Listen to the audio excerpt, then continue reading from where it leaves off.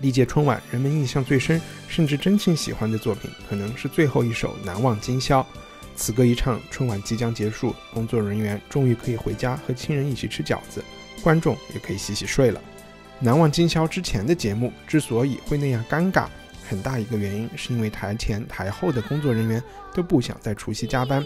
真爱和勉强做出来的事情还感觉不出来吗？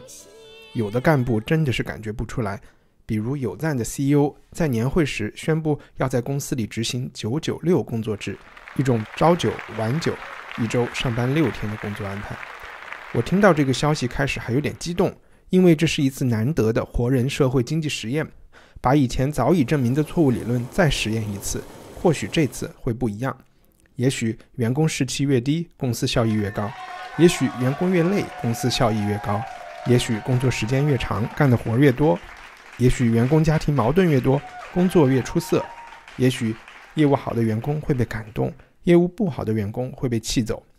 当然，历史上确实有一些经济单位可以搞九九六，甚至更符合老板需求的工作关系。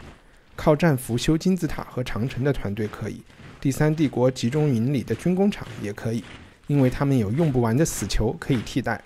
不过，小声说一句，最后他们都被更先进的社会制度打败了。如果这仅仅是一场不理性的实验，也就简单了。可是有赞不是在搞破坏性创新，他们不过是尾随其他所谓行业大佬的示范作用。网上一搜，腾讯、阿里、百度、华为这些行业带头人早就带头开倒车，开始搞九九六工作制。亚当·斯密在《国富论》里早就说过，几个行业大佬在一起喝酒，很快就会开始同谋如何垄断市场。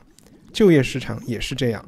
这些公司正在试图正常化的“九九六”工作制，就是希望扭转八小时工作制、每周双休这些社会进步的里程碑。这是所有工薪阶层都应该站出来反对的事情，是为了自己的生活，也是为了自己的事业，不要成为一场春晚。